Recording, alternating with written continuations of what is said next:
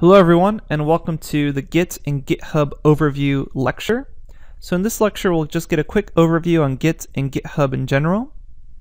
So what is Git, G-I-T? Git is a free and open source distributed version control system and it can handle everything from just a small project to a really large one pretty well. So you can go ahead and go to git-scm.com to learn more about Git and you can try it in your browser for free by clicking this try git link on the git page here. And it'll take you to this link at try.github.io and it'll teach you Git pretty quickly in your browser. So it's actually a really useful tool.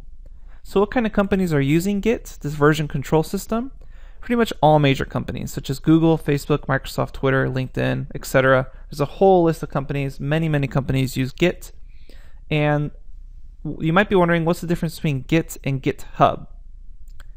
So GitHub is a web page where you can publish your Git repositories and collaborate with other people. So as I mentioned before, Git's a version control system. So it basically has a series of snapshot, snapshots of your code, which are known as commits. And as you see the path of the snapshot, uh, the snapshots, you can check what order they're created in. So can you use Git without GitHub? Is another question people ask. And yes, so Git runs locally if you don't use GitHub. Um, an alternative to GitHub might be using Git with your files and then hosting them on Dropbox.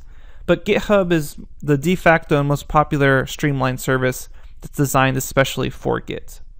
So I encourage you to make your own GitHub account and check it out. I have my own GitHub account, and that's where I commit the repositories for the notebooks, and that's how you're able to view them. Because I'm pushing them to GitHub. If you're interested in working how GitHub works, you can go to guides.github.com slash activities slash hello world. Again, this link is in the lecture text. And you can check out their hello world document. It's all in browser, so again, you don't need to download anything. You can just check it out all there.